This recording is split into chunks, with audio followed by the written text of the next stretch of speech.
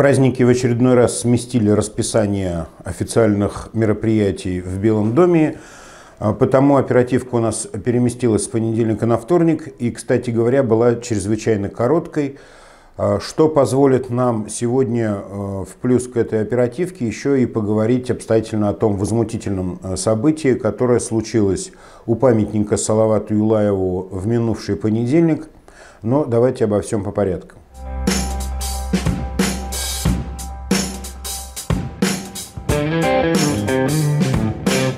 Делая вступление к оперативному совещанию, Хабиров строго сказал, что времени у него в обрез. А у него на носу очень важное совещание, как он выразился, с директорами вертолетов России.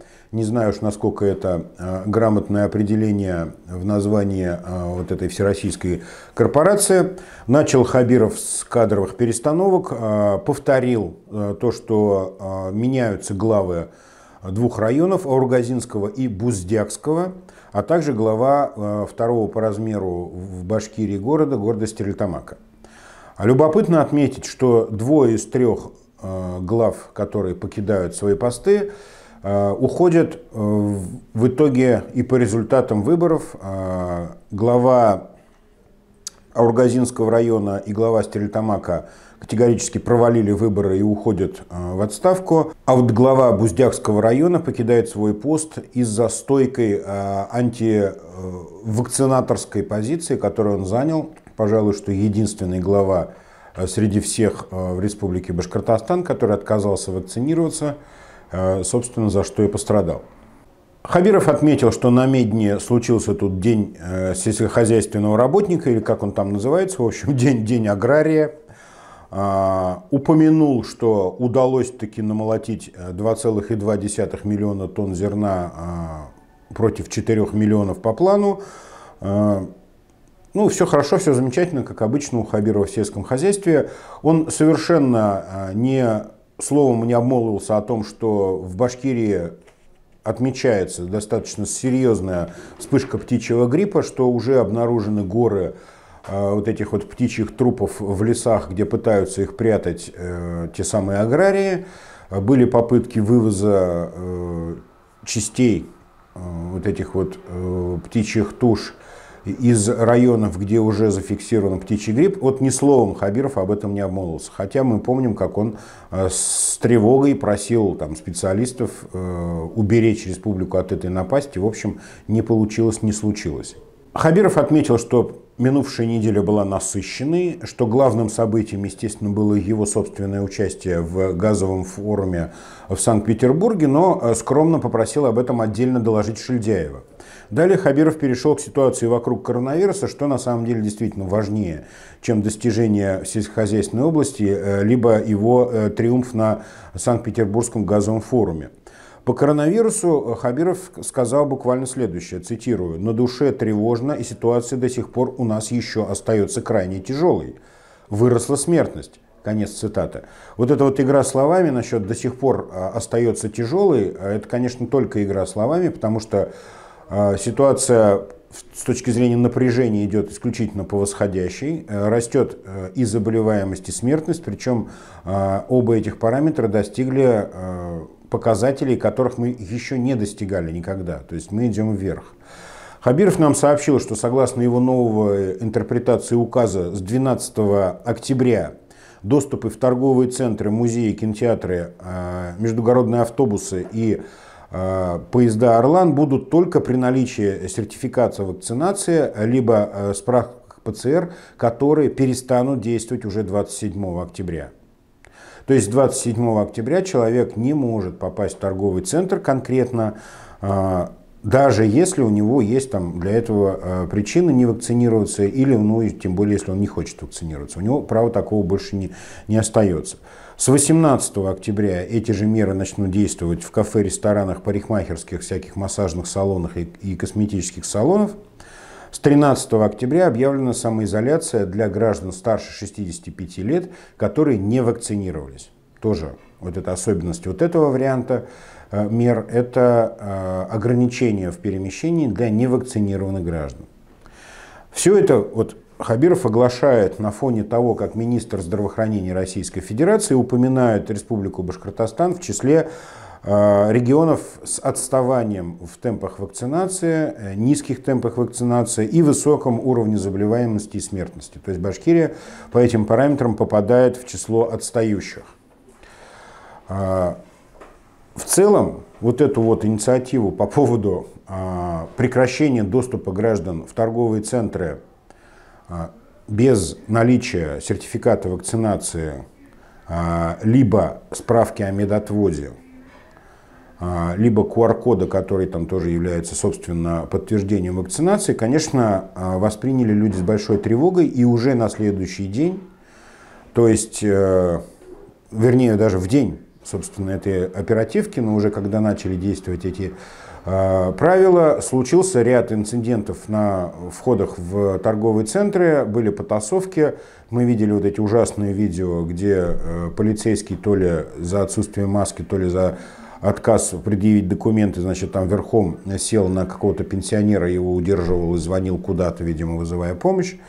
Хотя версия МВД теперь с запозданием звучит так, что это был нетрезвый посетитель, которого нужно было э, нейтрализовать. Я не знаю действительно, э, что там случилось, но выглядело это, конечно, жутко.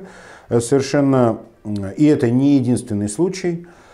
Самое главное, что здесь поражает, это чудовищно низкий уровень осознания того, что делает администрация Хабирова. То есть, вот, по сути, что они должны были сделать? Они должны были сесть и прежде чем написать текст вот этого указа, проанализировать пошагово, что будет происходить, кому какие полномочия вменяются и кто что имеет право делать.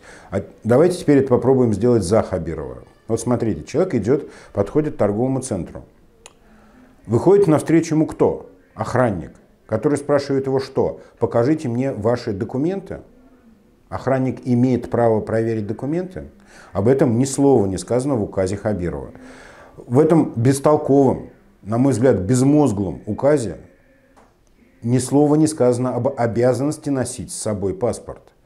А, а паспорта теперь спрашивают на входе, потому что а, вот те люди, которые проверяют, считают необходимым удостовериться в личности людей, которые перед ними находятся. Дальше. А если у человека медотвод? Он что, должен охраннику вот этому вот в черной куртке с желтыми буквами показывать свои медицинские документы, а у охранника есть право на получение, хранение и, по сути, обработку э, медицинских данных, которые являются также еще одновременно и персональными данными? Нет. Об этом юрист Хабиров не задумался. А зачем юристу Хабирову? Он же там, он что он там проповедовал в своем этом э, юридическом институте, там какое-то международное право? Ну правильно, но общий-то курс э, права он, наверное, проходил, когда сам учился или нет? Вот большой вопрос, да? Но мы видим в этом вот документе, государственном документе, указе главы целого, целого огромного главы довольно крупного региона, мы видим огромные дыры с юридической точки зрения, несостыковки в правовых вопросах и так далее. По сути, Хабиров делегировал охранникам функции полицейских, врачей и вообще какое-то администрирование перемещения граждан в пространстве. Простому охраннику, у которого, по сути, никогда никаких прав не было. У него единственное есть право вызвать полицию, если что-то не так.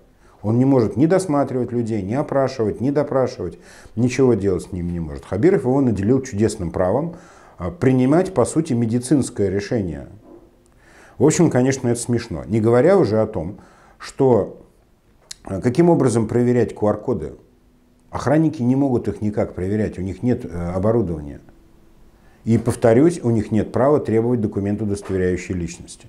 Безусловно, нужно отметить, что вот этим бестолковым своим указом Ради Хабиров столкнул огромные массы людей задел и задействовал интересы почти 4 миллионов человек. Напомню, что Башкирия перестала быть 4-миллионной республикой. Буквально накануне стало известно, что численность населения Башкортостана опустилась ниже отметки в 4 миллиона, что тоже, собственно, является заслугой непосредственно дорогого ради Фаритовича. Так вот, Хабиров столкнул лбами людей на входах в этих э, торговых центрах, причем не на шутку столкнул, и эти конфликты будут продолжаться ровно до того момента, когда обе стороны, и охранники, и посетители торговых центров не придут к некому консенсусу и не перестанут друг друга замечать, как это уже случилось в торговом центре «Центральный» буквально вчера.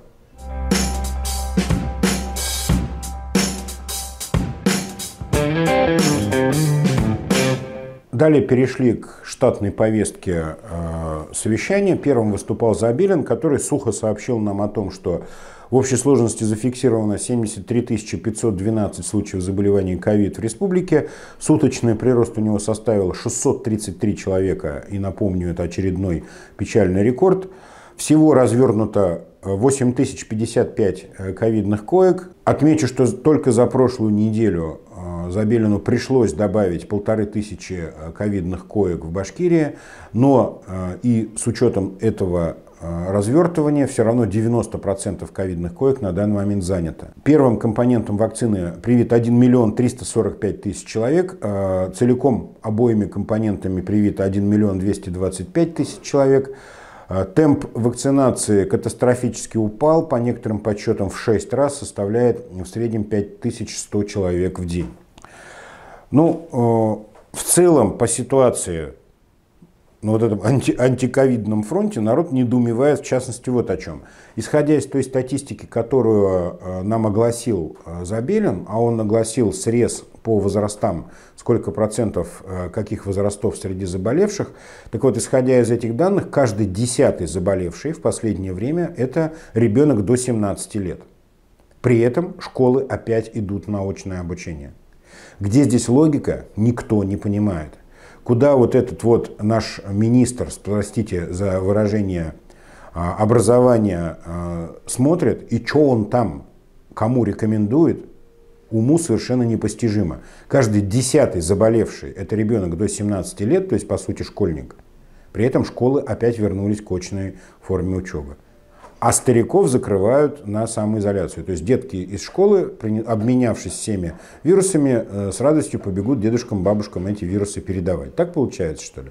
Я не понимаю, где здесь э, как бы э, логика. И еще главный вопрос тоже возникал, который в связи с этими ограничениями, которые, ну, безусловно, примыкают к вопросу о ковидной безопасности, это каким образом э, классифицировать вот эти торговые центры, куда можно или не можно попасть.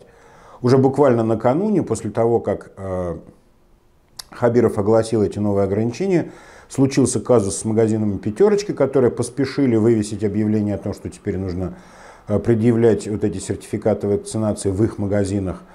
Совершенно не описан статус торгового центра, Потому что если его расценивать так, как он классифицируется, например, нашим Министерством торговли, то это, в принципе, ну, э, магазин, в котором есть более одного арендатора и там какой-то э, размер площади от.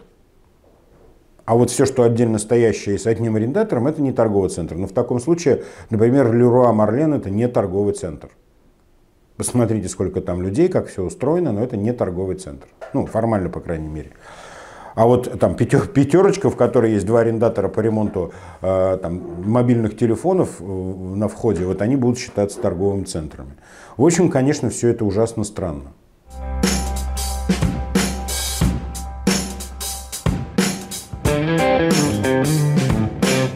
Вторым докладом был доклад Шильдяева Александра Николаевича, министра промышленности, энергетики и инноваций, и он был именно об итогах работы делегации Республики Башкортостан на 10-м газовом форуме в Санкт-Петербурге.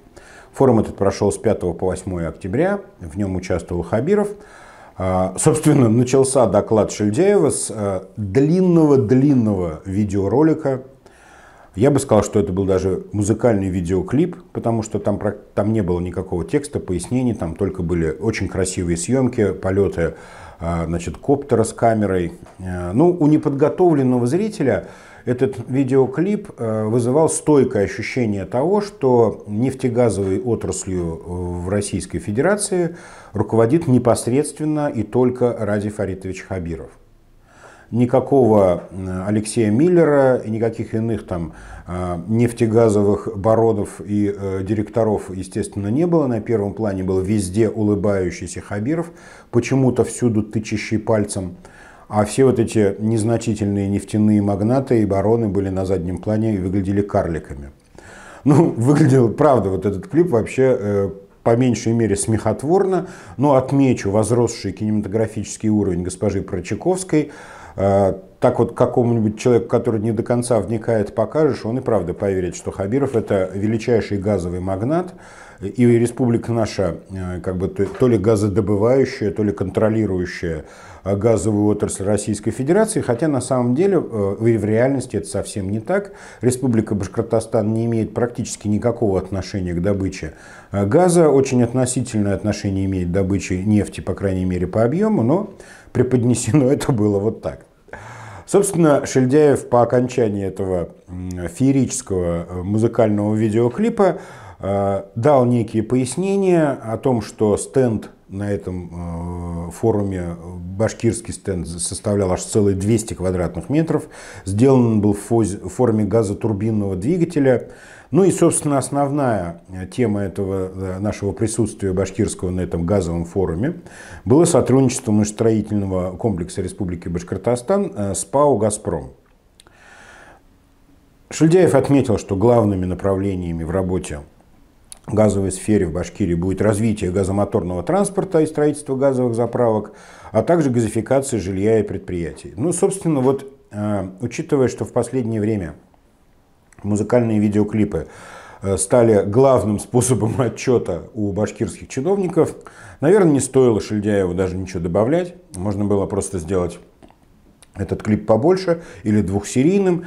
Многим, кстати, присутствующим понравился видеоклип. Э, Саша Сидякин, сидящий в первых рядах, как обычно, аж подпрыгивал, его колбасил. Он, ну, видимо, готов был пуститься в пляс. Это же все-таки музыкальный видеоклип. Но с трудом себя сдержал.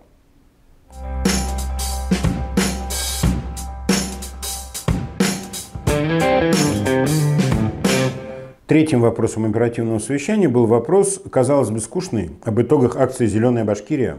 Делал его э, министр ЖКХ Алан Викторович Марзаев, вернее, исполняющий обязанности министра ЖКХ. Поначалу мне показалось, что вообще этот э, доклад будет скучным и недостойным внимания, потому что Марзаев э, так довольно заунывно стал рассказывать, что с 25 сентября по 5 октября 48 тысяч участников э, посадили 8,5 тысяч крупномеров, 69 тысяч э, саженцев, э, высадили 6 аллей в Стерлитамаке, 9 аллей в Уфе. Замечательно все прошло в Белорецке, Давлеканове, Дертюлях. Отдельно Марзаев выделил э, господина Мавлиева, э, Ратмира Мавлиева, мэра Нефтекамска, который устроил у себя в Нефтекамске замечательную аллею с именными деревьями. Ну и, естественно, показали музыкальный видеоклип, как теперь положено в ходе отчета, значит, о том, как замечательно все это сажалось и тра-та-та. Тут было я заскучал, но вдруг всех развеселил Хабиров. Хабиров почему-то разозлился на Марзаева, стал шуметь, ругаться, а потом почти дословно повторил все то, что сказал Марзаев, и в конце сказал, а вот так надо было сделать. Я, честно говоря, думал, вдруг я там задремал э, и что-то пропустил, отмотал назад, снова, снова пересмотрел. Нет, действительно, Хабиров повторил слово в слово все, что сказал Марзаев, но добавил, а вот так надо было сделать. Ну так вроде как Марзаев так и сделал. Но Хабиров э, бушевал дальше. «Задание мое вы не выполнили. Выполнили вы его на двойку. Пригласите Сараполову. Каждый глава муниципалитета должен получить прямое задание. А этот хаос втыкать, где попало деревья, и не поливать их, надо прекращать. Приглашайте Сараполову». Конец цитаты. Собственно, вот это и было расшифровкой причины э, гнева Хабирова. Марзаев просто не, ну, не вовремя, как говорится, фишку срубил. Он не знал, что во всех вот этих вот животворящих процессах по благоустройству в Республике Башкортостан должна точно участвовать Царапулова. И как только ее отлучают от любого маломальского э, ручейка Э, средств, источника э, значит, э, благосостояния и прочих значит, денежных проявлений в этой сфере, сразу же Хабиров реагирует жестко и последовательно. Везде, в посадке каждого кустика, в установке каждой скамеечки и, не дай бог, даже монтаже какого-нибудь ландшафтного фонаря должна быть причастна Сарапулова. Это смешно, конечно. Видимо, в Уфе а, у Сарапуловой закончились э, мероприятия, то есть она уже завершила а, благоустройство набережной, да, посмотрите, какая она прекрасная. Не видите? Я тоже не вижу. А посмотрите, как она изменилась с тех пор, как за нее взялась Сарапулова. Не видите? Я тоже не вижу. А, Но, ну, в общем, нет. Хабиров строго следит за тем, чтобы госпожа Сарапулова участвовала в посадке каждого э, замызганного маленького э, кустика в Республике Башкортостан.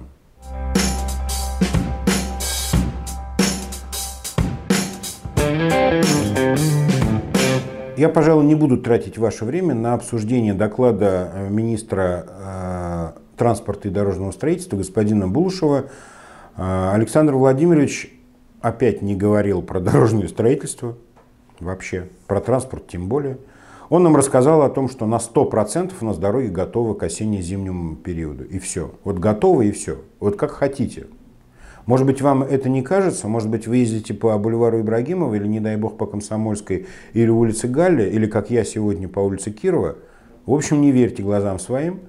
Мы готовы на 100% к осенне-зимнему э, сезону на дорогах Республики Башкортостан. А теперь ко второй части нашей сегодняшней программы. Это может быть необычно, но так как оперативка была коротенькой и абсолютно пустой, а, можем поговорить о том, что стряслось в понедельник а, у памятника Салавату Юлаеву. А, на мой взгляд, это возмутительное и очень важное событие. Я, как и многие, узнал об этом событии уже из интернета, из, из тех многочисленных видео, которые были размещены. Собственно, что случилось? Некоторое количество жителей республики собрались около памятника Салавату Юлаеву, чтобы выразить свое беспокойство Э, грядущей реконструкции этого памятника и э, беспокоились они, собственно, о том, что памятник э, могут не вернуть на место. Народу было не так, чтобы много, по моим подсчетам, ну, 20-30 человек. Они попробовали встать в какую-то охранительную цепь вокруг памятника, символизируя защиту народа. И один из активистов развернул маленький плакатик, на котором было написано дословно «Верните наш суверенитет». Ну, собственно, мероприятие было приурочено не только к беспокойству о судьбе памятника, но и к Дню Республики, Дню суверенитета Республики Башкортостан, который, собственно, и случился у нас 11 октября. И вот в момент, когда этот активист разворачивает плакат, причем полиция никаких особых претензий не предъявляла, никого не задерживала, не трогала, не требовала прекратить это мероприятие, вдруг в момент разворачивания этого плаката из, э, не сказать, что толпы, ну, в общем, из скопления людей э, появляется э, худенький юноша с рюкзачком, выхватывает этот плакат у человека, которого держал, и отбегает в сторону.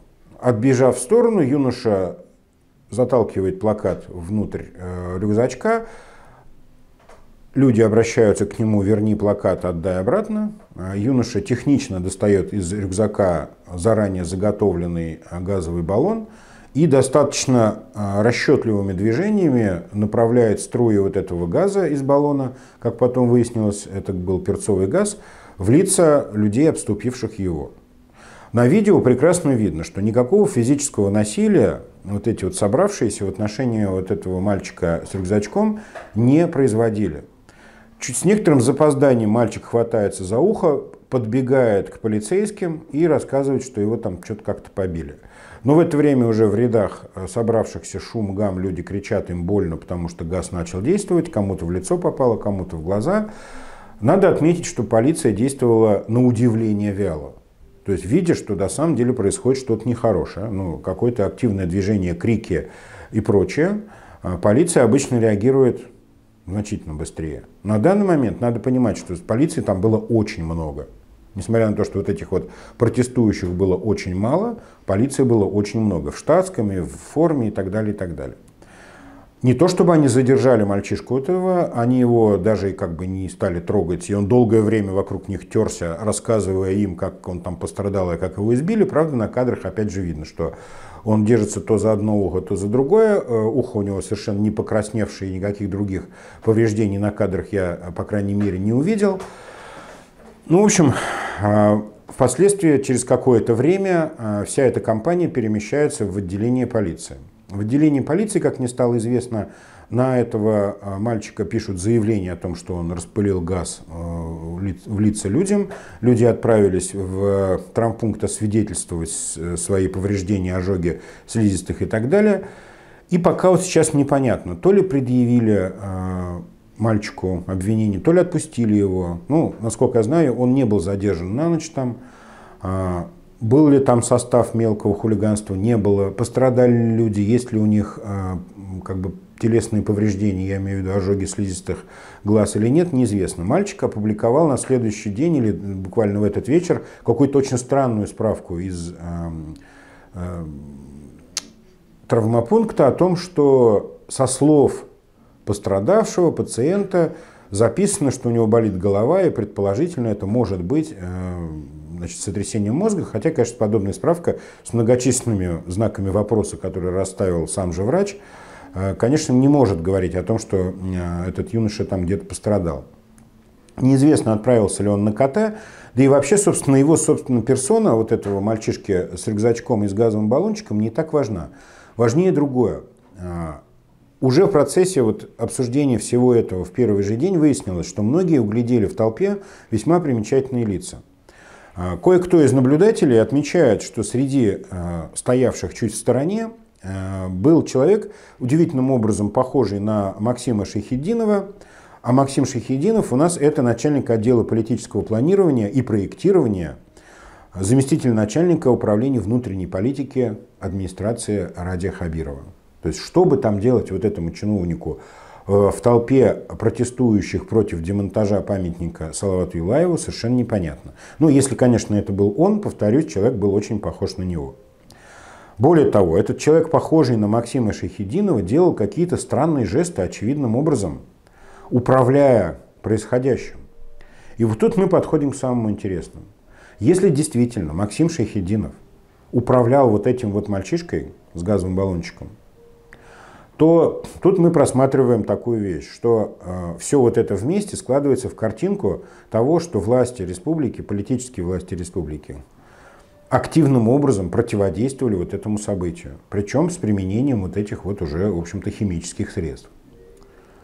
И у меня сразу вопрос. Если все это действительно так, то это все, на что способно внутриполитическое ведомство Ради Хабирова, просто отправить какого-то, ну, как минимум неуравновешенного юношу, а как максимум, наверное, покажет экспертиза или психиатрическое обследование – отправить этого человека туда, в толпу, не знаю, то ли он просто был э, заведен какими-то идеями, может быть, его что-то ему там посулили, ну, неизвестно. И попытаться спровоцировать там беспорядки, которые нам потом покажут как безобразное поведение активистов. Вот это внутренняя политика в версии Ради Хабирова.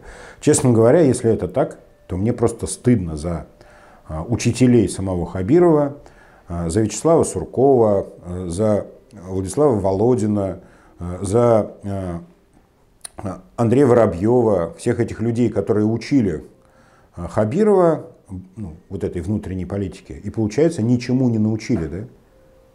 В арсенале остались только вот эти вот ну, абсолютно какие-то жиганские замашки с вариантом подослать какого-нибудь дурачка с, с баллончиком, что ли. Вот если это так, то это, конечно, очень печально, потому что если у нас внутренняя политика будет строиться вот на таких э, инструментариях, то это очень грустно. Есть, конечно, вариант, что это так, но это не дело рук Хабирова, тогда Хабирову надо крепко-напряг задуматься, что же делают его вот эти подручные, подопечные, его подчиненные, вот эти Бардановы э, и Кельсинбаевы, если Хабиров был не в курсе, а и если они это все дело соорудили, то, э, на мой взгляд, их надо прямо завтра увольнять. Потому что ну, а, запреты концертов, которые вовсе можно было не запрещать и даже нужно было не запрещать. Вот эти вот э, перформансы с газовыми баллончиками. Что еще дальше мы увидим? Я не представляю. В общем, Хабирову точно нужно сейчас сесть, проанализировать всю вот эту ситуацию, выяснить, чьих рук это дело, если, конечно, это не было прямым творчеством вот этого мальчиша-плохиша, и э, делать срочно выводы, потому что мы катимся к какому-то совершенно безобразному образу региона, в котором э, все будет решаться на кулаках при помощи каких-то вот этих вот засланных казачков. Но надо же понимать, что с обратной стороны тоже будут кулаки, казачки, э, арматура и еще что-то похлеще. То есть э, вот не хотелось бы этой эскалации. Я намеренно не обсуждаю личность вот этого парня с баллончиком, потому что, ну, во-первых, ни в коем случае нельзя популяризировать такие фигуры, выводить их там на передний план, придавать им какую-то значимость. Но отмечу, что э, сразу же после этого события вышло видео, где мальчик рассказывает ну, о своем трудном детстве, о каких-то детских травмах, долго путанно рассказывает, как папа что-то ему там руку хотел отрубить топором. Ну, в общем, какой-то дикий бред. Но в конце э, его, видимо, прорывает, и он рассказывает о своем отношении к Башкортостану, к жителям Башкортостана, к тюркским народам, э, к тюркским традициям, о том, как он не хочет жить в этом всем. А, вот эти обычаи и древние традиции, а, значит, башкирского, татарского народа, да, вот это все тюркские обычаи, ублюдские просто тюркские обычаи. Один вопрос. Во-первых, э, может быть, надо специально обученным людям, возможно, даже в погонах, заинтересоваться этим видео и проанализировать его. Потому что там реально содержится, вот, на мой взгляд, содержится, конечно, призыв к межнациональной розни. Ну, либо докторам в белых халатах тоже посмотреть. Потому что, вот честно сказать, подобный уровень экзальтации и неуравновешенности, он либо э, преступление, либо э, уже какое-то серьезное психическое нарушение, которое, боюсь, может привести к каким-нибудь вариантам, как в Перми, как в Казани, вот к этим вещам. Да, человек явно находится на грани срыва, а нам оно надо? А может быть нам про профилактировать это все?